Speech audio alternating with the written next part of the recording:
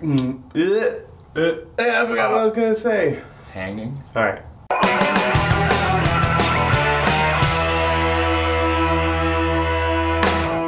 Hey everyone, welcome to the shop. It's Chinbeard here, and this is my buddy Scott. Hi.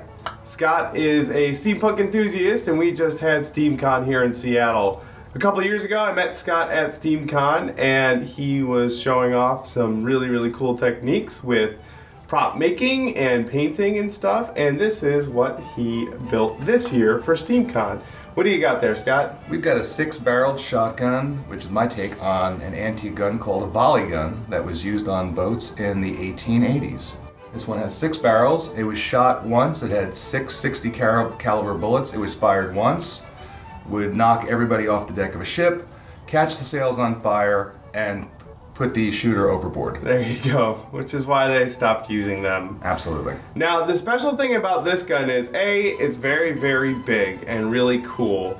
Uh, and B, it has a special feature that allows Scott to travel with it from his home state to out here or wherever. Uh, and I figured that was a really good tip that people could uh, learn from. Oh, I'd like to build big. Last year I came to SteamCon with a six foot hypodermic needle.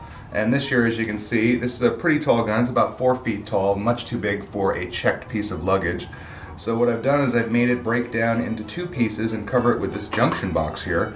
So it'll all break down nice and neat and go into a check bag and get through TSA and get to the con on time. There you go. Where there's you said there's a nut on the top So of there. over here on this screw? cover, which is uh, craft foam and fiberglass, there's a, there's a screw here which comes out, and then this whole piece slides forward, and there's a threaded rod running through the wood, all the way up through the barrel, and this all twists out, and then the two pieces break down and go side by side and bubble wrap into my check bag. Very, very nice.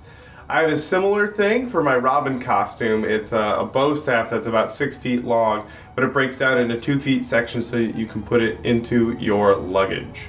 Yeah, so that's that. Remember, when you're putting something together, you're designing one of your props and you need to travel to a convention, uh, especially if you are flying on an airplane, that uh, you may have to design it so that it can break down in different pieces. And this is a fine example of exactly that. Scott, where can people go on the internet if they want to see other stuff that you've worked on? I'm on Tumblr at docsteamcrunk at tumblr.com, and you can also find me on Etsy at steamcrunk, and also on Facebook at steamcrunk. There you go, and I'll put links to all of those down below. Thank you again, Scott. It's been another wonderful SteamCon, and I'm excited to see what gigantic weapon you bring next year. Thank you for hosting me, Bill. Alrighty, take care, everyone.